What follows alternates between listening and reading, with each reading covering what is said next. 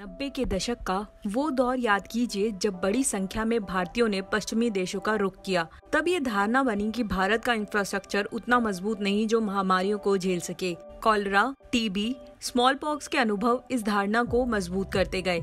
Middle class के बीच विदेश से लौटना, खासतौर से अमेरिका या ब्रिटेन से लौटना बड़े गर्व की बात होती थी। मगर अब वक्त बदल गया है। अब वहाँ से लौटने वाले दिखावा नहीं करते क्योंकि वहाँ कोरोना वायरस का प्रकोप है। कोरोना वायरस से सबसे ज़्यादा बुरा हाल इस वक्त अमेरिका का है।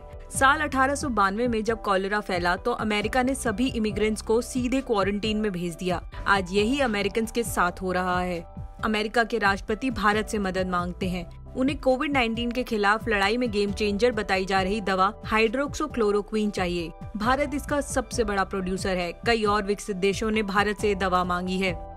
समय का अजीब खेल है। कभी भारत को सपेरों का देश कहते थे। यहाँ की संस्कृति और इसका मज़ाक बनता था। आज वही दूसरे देश भारत के आगे नतमस्तक हैं। इसराइल ब्रिटेन जैसे देशों के नेता खुलकर नमस्ते करते हैं। हाथ मिलाने पर क्योंकि वायरस संक्रमण का खतरा है, इसलिए नमस्ते सबसे अच्छा है। अब ये बात जाकर पश्चिमी देशों को समझ आ रही है।